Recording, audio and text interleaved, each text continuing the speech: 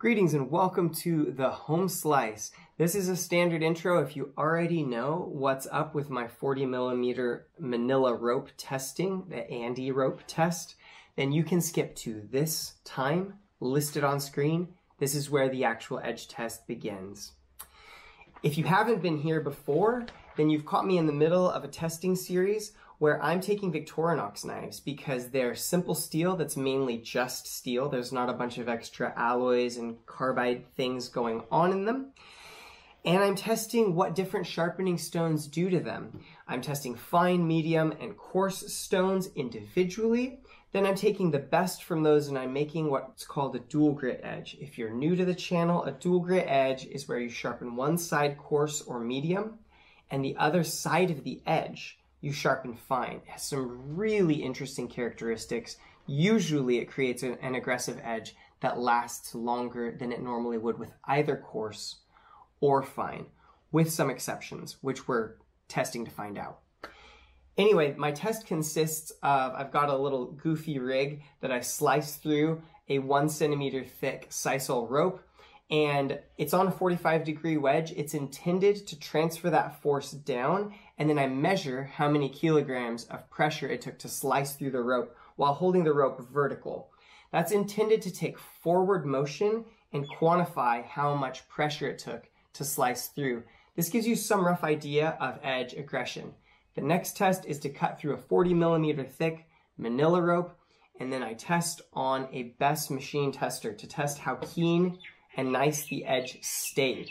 I do that until it's over 400 grams on the BESS tester, checking with microscope and checking to see when it loses shaving capability in between tests. After three, I will hammer the edge into a pine piano leg and that's just to see if any of the edges break on impact. There are certain sharpening methods I've found that create an edge that's not as robust to impact tasks. And I want to kind of weed those out because for a working edge, I want it to be reasonably durable. Anyway, that's what we're testing for today. In just a second, we'll skip right over to the test footage and I will let you know what the finishing stone that we're actually testing was. What's up guys? Today we're testing the Japanese natural stone that my friend Jason gave to me in the ANDE rope tests. Now, this came off with no stropping at 84 grams BESS, which is an excellent result and very, very, very good deburring off the stone. Uh, I've tried it since then, and it doesn't always, I, I don't always get that consistent of a result, but this was a very good keen edge. I've frozen the screen here at 2.8 kg, which is just around about 800 grams once you subtract the weight of the rig. Now I bought some new Victorinox knives for this testing in general and you can see this one was sharpened at a little bit less than 17 degrees because I found out when I put it under the scope that I had actually put a micro bevel on the factory angle and this overall thinned out edge may have played into the BESS readings being so good, but this Japanese natural stone has created an edge that looks pretty good. You can kind of see in the microscope if there's a lot of reflection, that's indicative of bending. However, you can see that we have a similar result to the other Japanese water stones in that the first reading off of the first ANDE cut has lost much of that keenness the Japanese natural stone did leave a fairly aggressive feeling edge, and when I retested it hit 373, and so I continued the test on. This one was right on the line, but although it was over 400, it was surprisingly aggressive. So I continued for a third pass with the Japanese natural stone, and at this point in the test, it began to really lose that aggression. I struggled to get through the last of the fibers. After pass number three, we have our third confirmed reading above 400 grams, which stops us on the ANDE test. It's very difficult to initiate a cut in this follow-up aggression test, and I sort of slip into the rope, but then run out of edge here with a max reading of 4.3 kilos. So I try to do a second attempt and apply a little bit more pressure, but it is telling to have to go two strokes through the rope, and it doesn't exactly line up with the other numbers. I've frozen it there at 9.9 so that you can see what the maximum reading it hits is.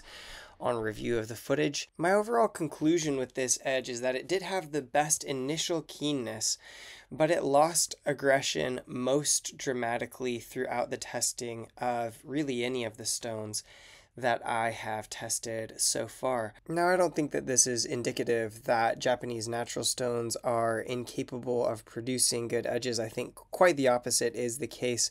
But I think that it is indicative that you do need some level of stropping or cleanup to prevent this sudden loss of aggression. If any of you are proficient at creating great edges with a Japanese natural stone, this is my first attempt.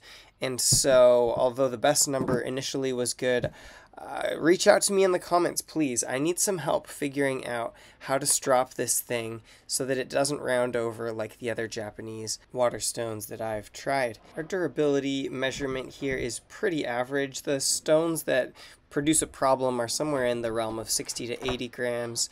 The ones that are really good, you don't see any loss, or it's just like 10 or 15 grams. And so this 37 gram reading is not bad, but it's also not the best that we've seen. Edge doesn't look terrible after the impact. So sorry that it's shaky. I hadn't figured out ways to isolate my movement at this point. If you want to see my last test, I'll put it up on screen now. For the rest of you, I'll say peace out from the home slice. Take care.